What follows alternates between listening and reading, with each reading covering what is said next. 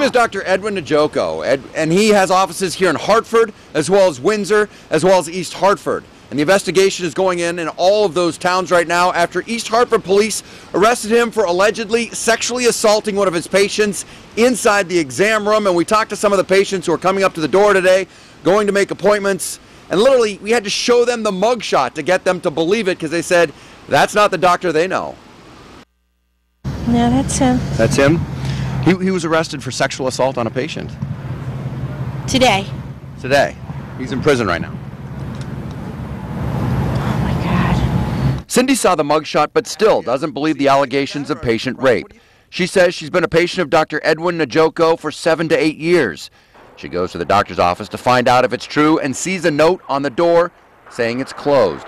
She called and was told that they're not making appointments right now. I'm shocked. Uh, how has he treated you as a patient? Excellent, with dignity and respect, honest. She is not alone. What did he do? I want to hear it from you. The sexual assault. Police have arrested him on first degree sexual assault. I'm confused. This is a man that I know and I respect. Jermaine works next door to the doctor's office and sees him almost daily. She says it's hard reconciling the man she knows with his mugshot. I don't believe he's raped anybody. This is a setup.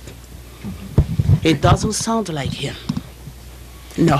Police say they have a victim and evidence in the form of a rape kit. A woman came forward saying that Njoko sexually assaulted her in an exam room. After the news broke, police say, quote, calls came pouring in from people who report having criminal information concerning Dr. Njoko. We did did learn that there had been other allegations involving him in the past in other jurisdictions, which were very consistent with ours.